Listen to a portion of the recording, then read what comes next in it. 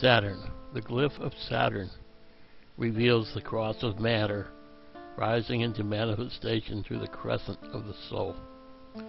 The glyph of Saturn reveals the energies of limitation, restriction, and suffering in your consciousness, as well as the power to develop the self discipline necessary to transform limitations, restrictions, and suffering into positive energies of growth and personal transformation through which you can accomplish work that is beneficial to life. The position of Saturn in your chart represents the strongest focus and expression of the energies of restriction, limitation, and suffering.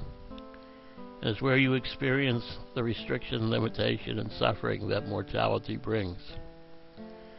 In the sign where Saturn resides, we find the character, manner, and mode of expression of the restricting and limiting energies influencing your life.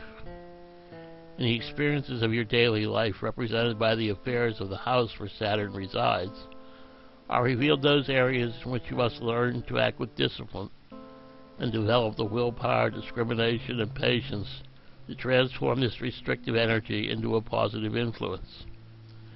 This chart placement is where you will encounter the greatest sense of reality in your life as well as most strongly experience the limitations and restrictions that prevent you from achieving a higher level of personal growth.